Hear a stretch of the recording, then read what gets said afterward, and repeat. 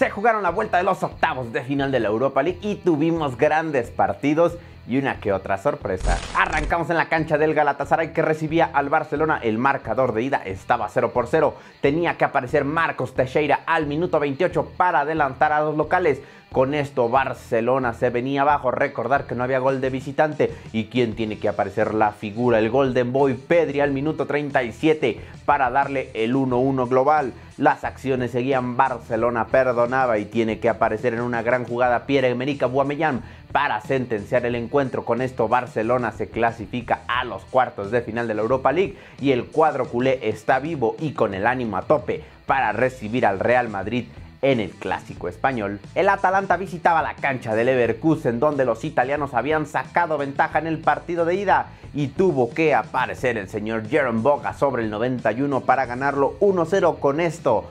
El Atalanta se clasifica con un marcador global de 2 a 4 y ya espera rival.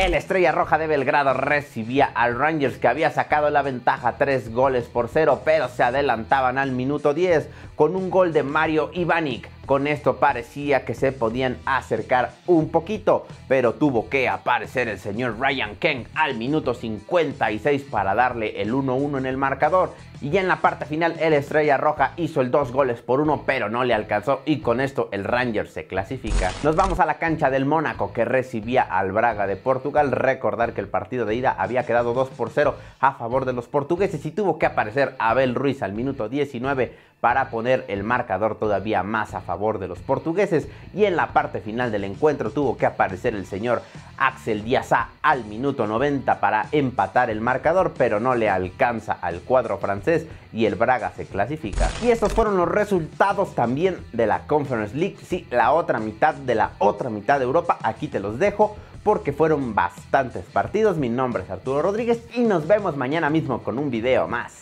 del mundo del deporte.